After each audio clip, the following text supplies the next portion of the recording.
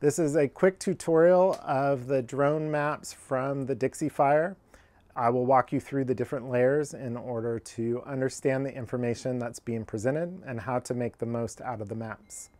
But before I do that, then I want to tell you a little bit about the background of the information that's being provided. This imagery was collected at the request of the Plumas County Sheriff's Office.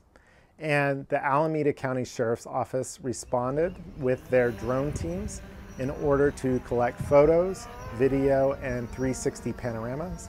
And you'll see some of that information presented here as maps from the air, as well as the panoramas from the air. There was also ground-based video that was collected and is overlaid on the maps.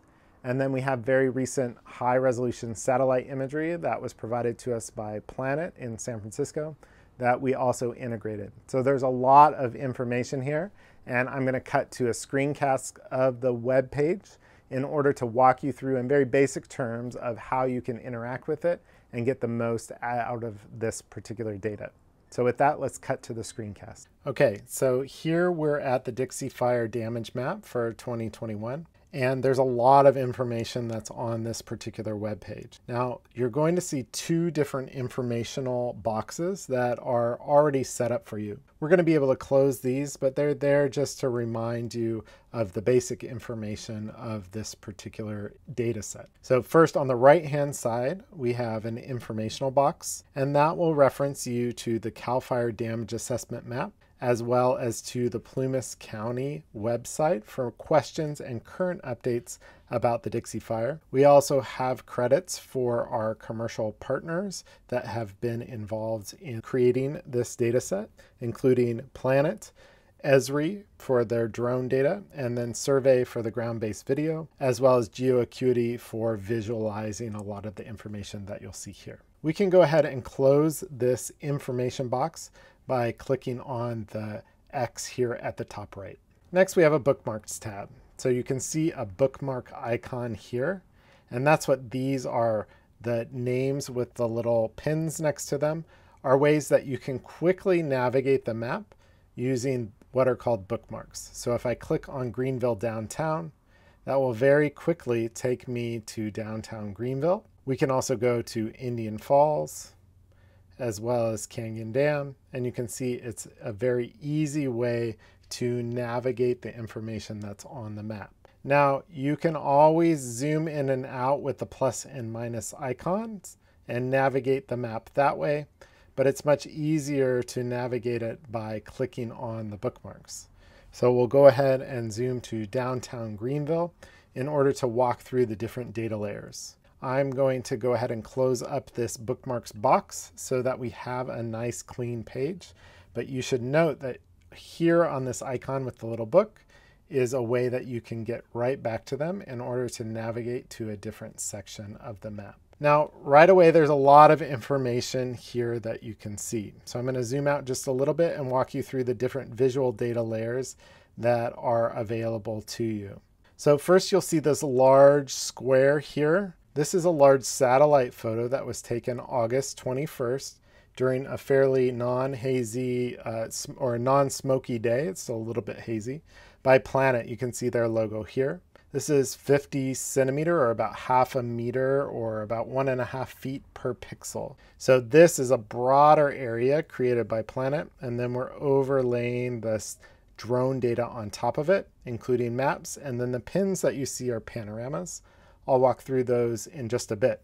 So I'm going to click on the bookmark and go back to Greenville downtown and I'll walk you through the imagery that you see. Right now we're looking at mostly drone imagery that was collected by the Sheriff Department drones. But as we zoom in, you can see very high resolution drone data of the damage and you can inspect downtown and see a lot of the impact to the community here in Greenville. If we click on a pin icon, this was a panorama collected approximately 200 feet in the air.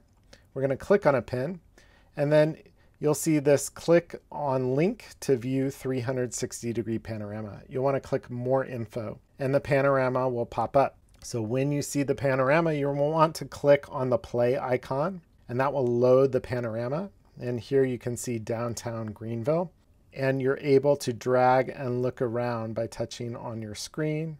You can also zoom in and look at the impacts of the Dixie Fire. In order to get back to the map then, you would go ahead and close the tab, and now you're back to the map. There's over 400 different panoramas across the Dixie Fire, and so you're able to use them as a complementary data layer in order to click on and view and pan around in a more interactive way than just a two-dimensional map. Okay, there's a lot of other information that I want to show you, and this is under a couple of different tabs that I'll walk you through now. The first tab is up here. This is a compare tab we're a, or a swipe tab, and we're able to swipe and compare the current status with the drone imagery to pass satellite data that is used in the base map. So you can do a, a, before and an after to really understand what it looked like before and what it looks like today. So I'll go ahead and click on that and you'll see this swipe icon appear here. You're able to move that back and forward and you're able to again compare to past satellite data to look at what was present before and then what is present today. And you're able to really compare the difference between the two. You can turn that off by again clicking on the swipe tool and then it'll just go back to the imagery that was provided. There are a range of other information layers as well. This icon in the upper right is called a layers list. It's where you can turn on and off information on the map in order to clean up the map or visualize additional data. When I click on it, you're going to see a range of different layers that are already visualized for you. The blue check mark indicates that it's already on the map. If I unclick it, then it will take it off of the map. Similarly, I have the Plumas County parcels enabled. This is the property boundaries from the county. You can click on those and those will also disappear. So you're able to really simplify the map as needed by turning on and off layers. Now, let me walk you through some of the other layers that are available for you to interact with. We've pulled in the publicly available CAL FIRE damage inspection map. So if I click on this map, you're able to see the icons that are provided by CAL FIRE, as well as all of the information that they're providing to the public. Now, I will refer you back to the information panel to go directly to the damage assessment map for more detail on the information that CAL FIRE provides. I'll go ahead and turn off the inventory map, but you should know you can click on these icons and you can scroll down to CAL FIRE's photos, for example, to look at the photo of that individual building that they spent a lot of time and effort collecting. I'm going to turn off that layer. The next layer that I want you to know about is going to be the Plumas County property addresses. So if you want to know the exact address, you can click on a star and that will come up. And this is 320 Main Street in Greenville.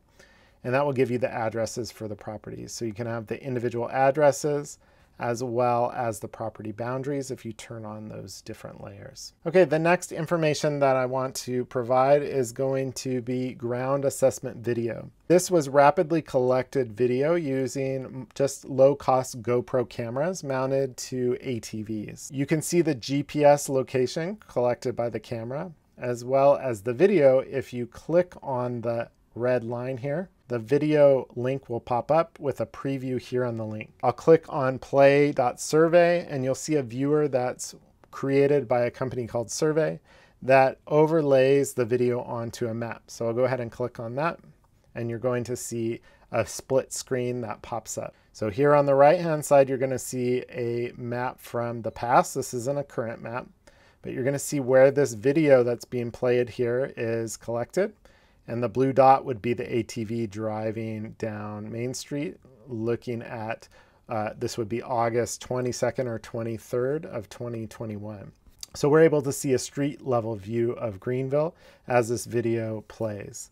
We don't have to watch the entire video. If you hover over the video, you can get a preview and you're able to just skim the video very quickly Similarly, if I look in the video and I hover over the play line, you can see where that video is at and where it was taken. We can then pause the video and you can then zoom in in more detail on the map on the right hand side.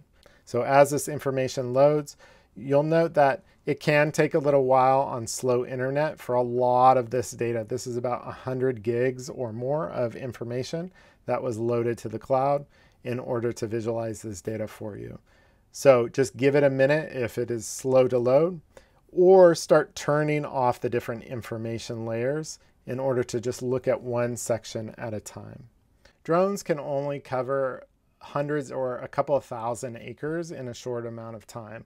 And satellite data can cover much larger spatial scales. So I'll go ahead and turn off the video and show you where the satellite data is being used to fill in the gaps. So here you can see the drone information uh, cut off some of these other areas that are still damaged, but you're able to zoom in and still look and get a feel for some of the areas that were missed by the drone data by just looking at some of the coarser resolution satellite data. And so it's not as high resolution and detailed as the drone imagery, but it can be useful for filling in the gaps so that you understand a bigger picture of the impacts of this particular fire. I'll go ahead and zoom out here and you're able to also see the fire perimeter. So the fire perimeter is the most current perimeter at the time of this recording. There's still active fire in the areas, but you can see the perimeter of the Dixie Fire as it is currently and overlaid on top of the imagery. So the final thing I want to point out is you can see a couple of these layers are actually grayed out and that's because they're limited to a close-in zoom. So as we zoom in on the information or use our bookmarks tab to zoom, for example, to Indian Falls, then you'll see as we zoom in, those layers then become much more active and you're able to then go ahead and turn them on again. So just to summarize, I would come in and use these bookmarks in order to navigate the map. I would close them up as well as the information panel here. And then I would navigate the layers list in order to turn on and off the various different layers. So that concludes this tutorial. We should note that flying drones in an active wildfire zone is highly illegal unless you're coordinating with the Federal Aviation Administration as well as CAL FIRE air operations, and in this case, the U.S. Forest Service air operations as well. All permissions were collected ahead of time in order for the law enforcement teams to capture the drone imagery presented here. So I encourage you not to fly drones in an active wildfire zone.